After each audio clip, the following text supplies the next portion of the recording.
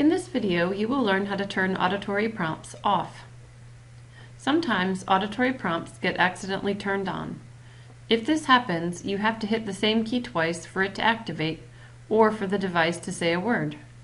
In addition, it will sound like the word is getting cut short. To fix this, turn auditory prompts off. To do this, first enter the toolbox. Then select Auditory Prompt menu. It is a yellow key in the top left-hand corner of the screen. Locate auditory prompts in the top left-hand corner of the screen. Touch the Off button to turn them off. Select OK at the bottom right-hand corner of the screen, and then the light blue Go to Home key in the top right-hand corner.